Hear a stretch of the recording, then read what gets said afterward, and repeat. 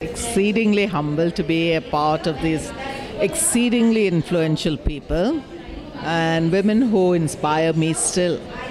You know, it, it's extremely sad. It's not just in India, world over. Uh, 3% of creative directors are just women.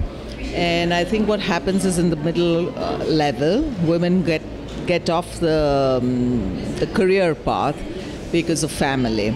And we, we as industry leaders need to recognize this and understand that, you know, that we're losing 50% of the talent.